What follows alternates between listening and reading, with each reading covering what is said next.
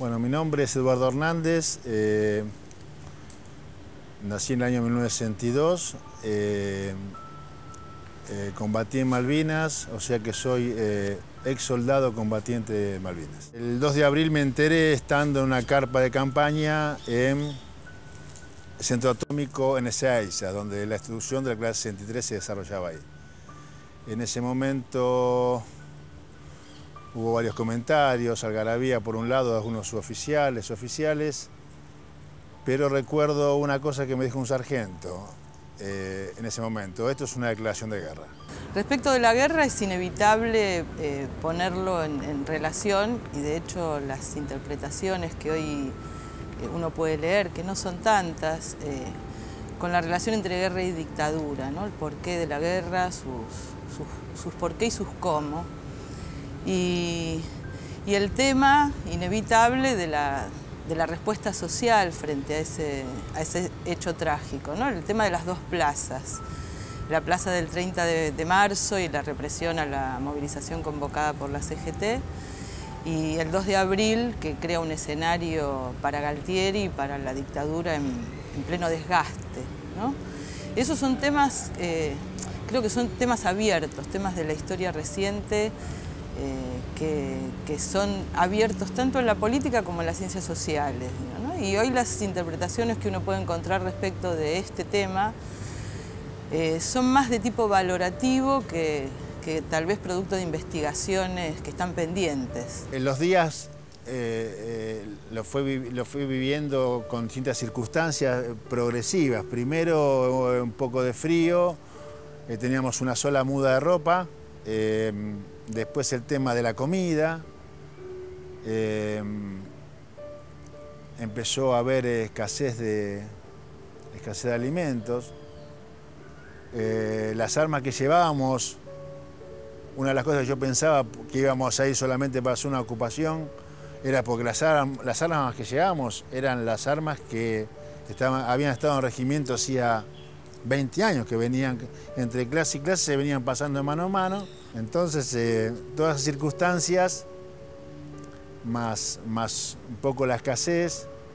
eh, el frío y el estar lejos de casa, ¿eh? todo eso iba siendo cada vez más duro el tema. La guerra, digamos, no ha favorecido el reclamo histórico de soberanía de la Argentina, ¿no? es decir, porque al contrario ha servido para reforzar la intervención de Gran Bretaña y, su derecho a intervenir desde, una lógica de la fuerza, digamos. ¿no? Es decir, eso más que favorecernos nos ha debilitado. Hoy, como ayer, el conservadurismo inglés, digamos, eh, alimenta la, la, existencia de fantasmas de una potencial amenaza para justificar un incremento del gasto militar y incrementar su presencia militar en las islas. ¿no?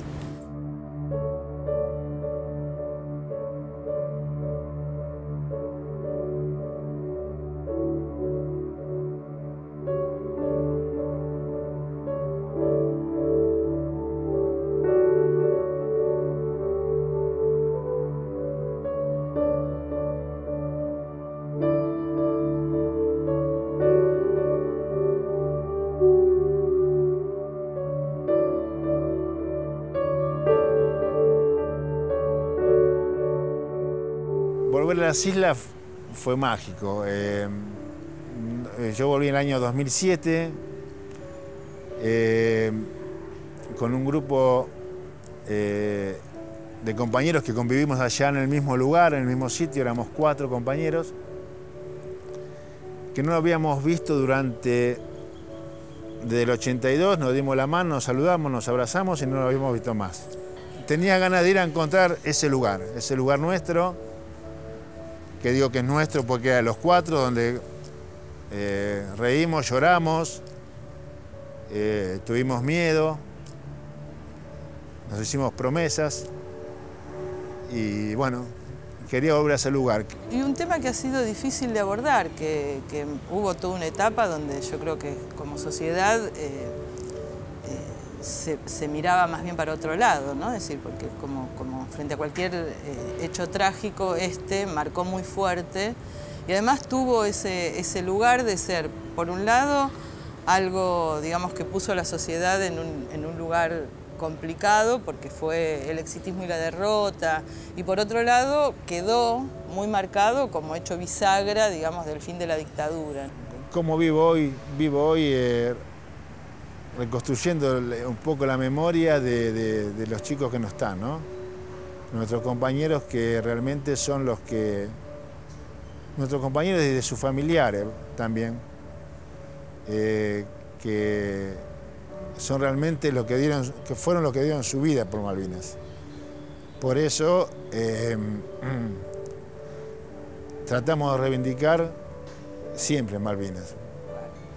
Queda en pie el reconocimiento, que es lo que se conmemora el 2 de abril, a los soldados, a los excombatientes, las causas pendientes por las torturas y los vejámenes sufridos por los soldados, que son cosas actuales que buscan respuestas hoy en la justicia. El hecho de que es inevitable cuando, cuando aparece esta fecha volver a evocar la guerra y sus razones y lo que eso ha significado como experiencia trágica de la sociedad argentina, es una interpelación hacia la reflexión respecto que nos debemos.